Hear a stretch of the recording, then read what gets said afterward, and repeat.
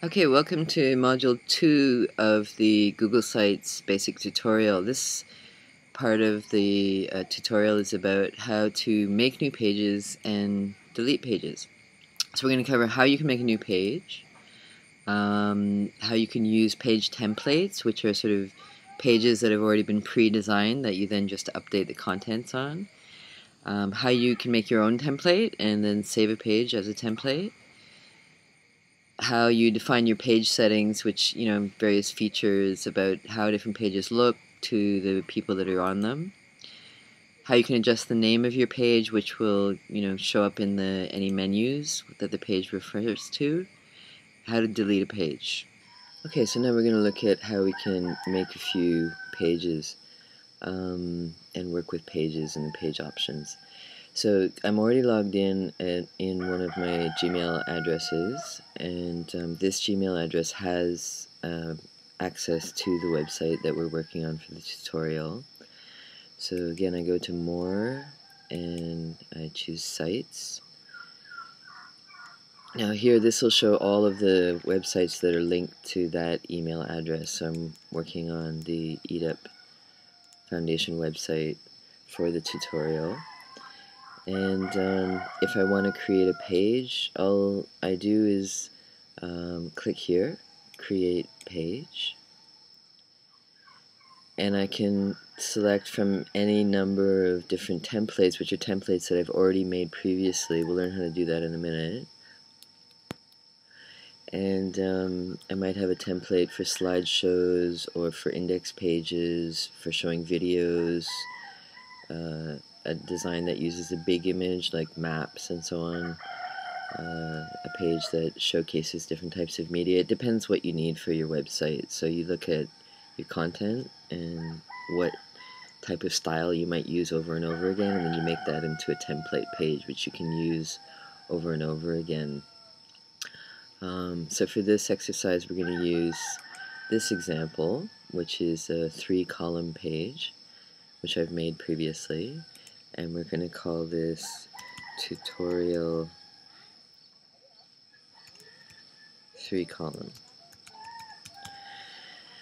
So the name that you use here um, will be the name that shows up in the URL of the page itself.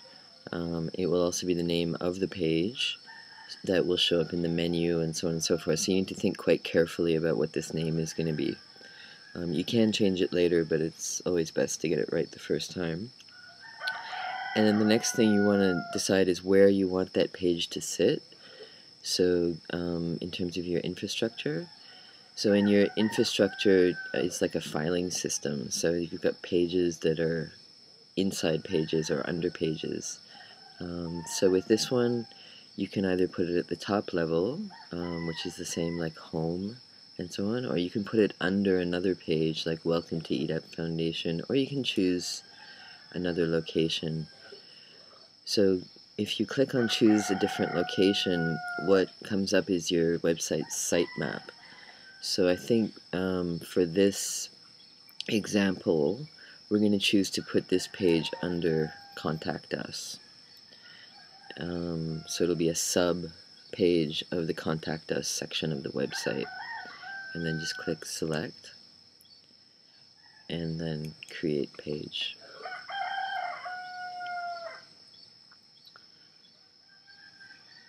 So here's our standard three column content. It's already got some content in it.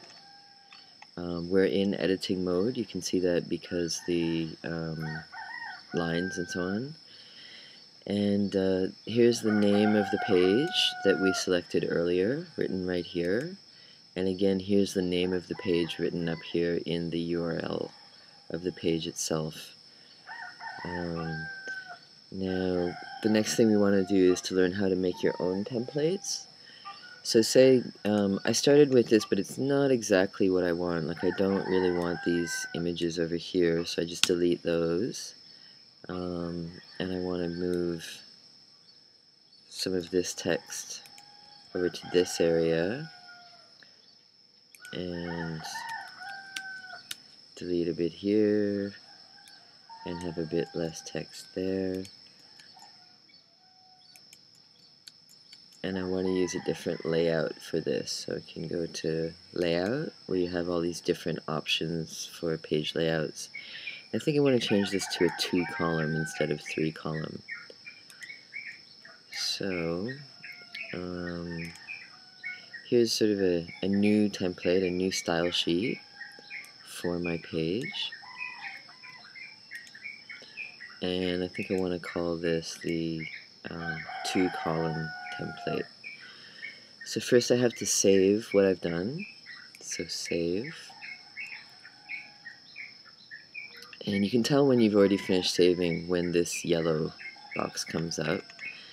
And then to save this page as a new template, which I'm going to be able to use over and over again, then I go to More Actions, Save Page as Template, and just simply click Save. Um, you know, you can rename this template into anything you want.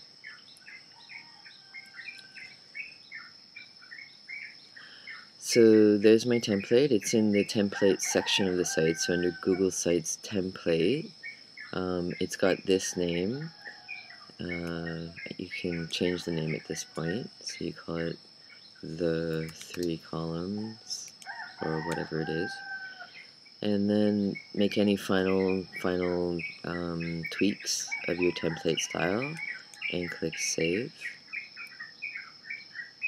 and then if you click on here view template listing you'll see all the different templates that you've got to work with at this point. So here here's the templates that we saw before when we were making a new page. And here's the new template that we just made a few minutes ago. And if we return to our website.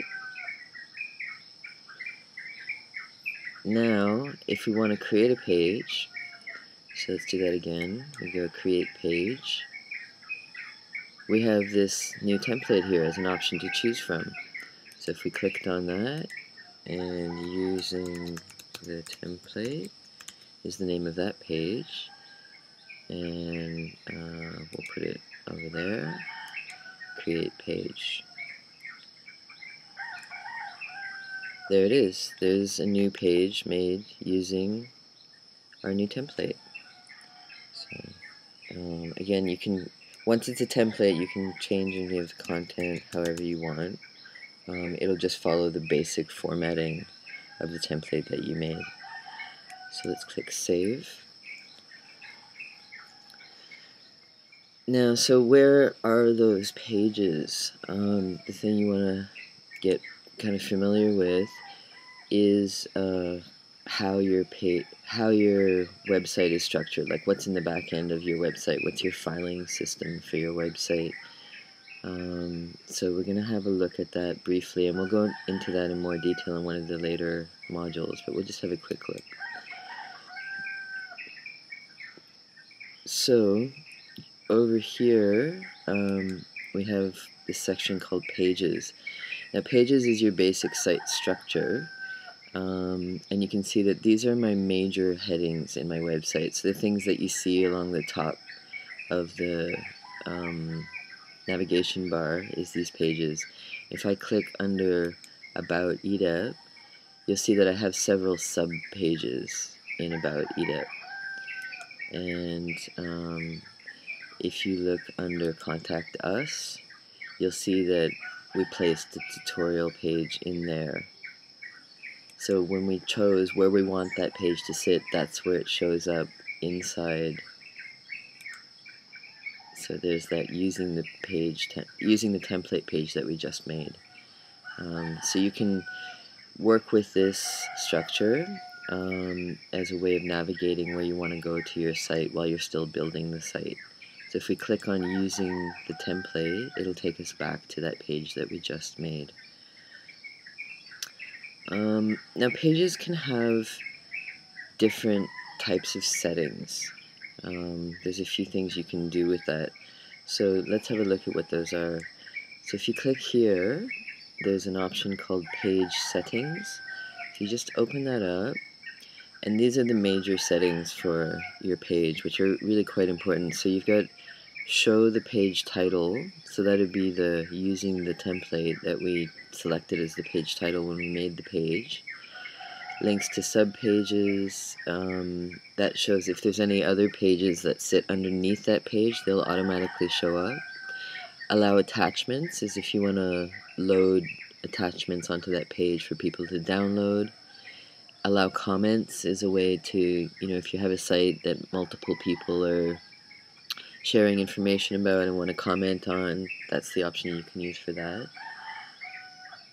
And then this is the actual URL of the page, which is what's listed as the address of the page.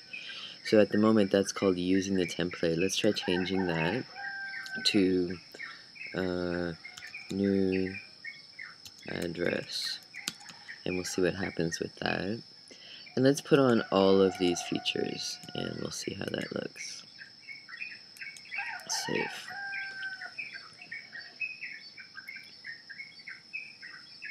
Okay, so this is telling you that the URL has been changed to new address. Here you can see um, where the uh, site sits. This is the title of the page that we asked to show. And then here at the bottom of the page, you now have the attachments. Um, and you can add more attachments. We'll, we'll work a bit on that later.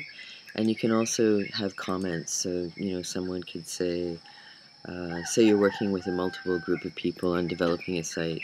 They could give feedback like suggest you change the title to whatever, or whatever the comments might be. That function can be used in different ways, and then you just click add the comment. So it shows that it was me that made the comment. It shows what the comment is, and um, the admin uh, level people have the ability to remove those comments whenever they want. So generally when I make a website to keep it nice and clean, um, I tend not to use these different functions. I might turn them on while I need them, but then turn them off again, which keeps the page looking more clean and uh, simple, which is generally a good look for a website. So you take that off, off, off, and off, and click Save. Then all of those things are gone, no longer there. And um, last but not least, we need to know how we can delete a page. So say you have a page and you decide you don't actually need it. It's very easy. You just go to more action. I mean, make sure you're in the page that you do want to delete at the time. So you just go to more actions, uh, delete page.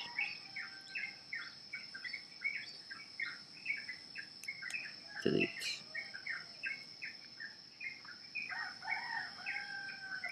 That's it. Your page is now gone.